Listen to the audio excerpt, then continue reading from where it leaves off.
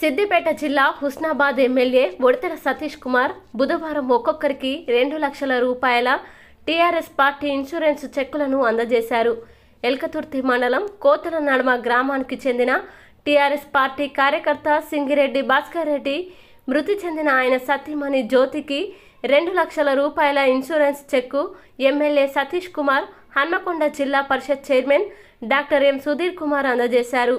అలాగే ఎల్కతుర్తికి చెందిన గడ్డ మైలయ్య మృతి చెందగా ఆయన భార్య లలితకు హుస్నాబాద్ మండలం బల్లు నాయక్ తండాకు చెందిన లావుడ్య భీమా మృతి చెందగా ఆయన భార్య కాసింకి పోతారం ఎస్ గ్రామానికి చెందిన బత్తిని వెంకటేశ్వర్లు మృతి చెందగా ఆయన భార్య లక్ష్మికి చిగురుమామిడి మండలం ఇందుర్తి గ్రామానికి చెందిన సందవేణి కొమరయ్య మృతి చెందగా ఆయన భార్య లక్ష్మమ్మకు సీతారాంపూర్ గ్రామానికి చెందిన ఒంటెల రాజిరెడ్డి మృతి చెందగా ఆయన సతీమణి రజనీకి సైదాపూర్ మండలం జాగిరిపల్లి గ్రామానికి చెందిన దొడ్డి రాజయ్య మృతి చెందగా ఆయన భార్య లక్ష్మికి హుస్నాబాద్ పట్టణానికి చెందిన పెట్టుగడి విజయ మృతి చెందగా ఆమె కుమార్తె సాయి లక్ష్మికి రెండు లక్షల రూపాయల ఇన్సూరెన్స్ చెక్కులను ఎమ్మెల్యే అందజేశారు.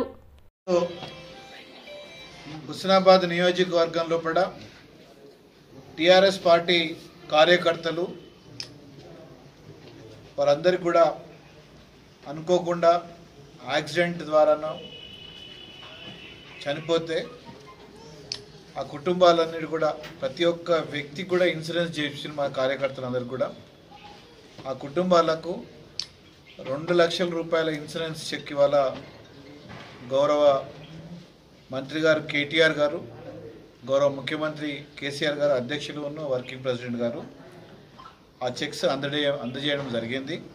అది ఈరోజు హుస్నాబాద్ ఎమ్మెల్యే క్యాంప్ ఆఫీస్లో పట ఆ కుటుంబాలను పిలుచుకొని వాళ్ళతోని మాట్లాడి మా జెడ్పీటీసీలు ఎంపీపీలు అదేవిధంగా జెడ్పీ చైర్మన్ గారు డాక్టర్ సుధీర్ కుమార్ గారు అందరం కూడా మరి వారు నిజం కూడా మరి అనుకోకుండా మధ్యలో చనిపోయినందుకు మరియు కాలం చేసినందుకు చాలా చింతిస్తూ ఆ కుటుంబాలకు గౌరవ ముఖ్యమంత్రి గారు సహాయం చేయాలని చెప్పి కూడా కోరితే వెంటనే మేము పంపించిన ప్రపోజల్స్ అన్ని కూడా తీసుకొని ఇన్సూరెన్స్ కంపెనీకి పంపించడం జరిగింది.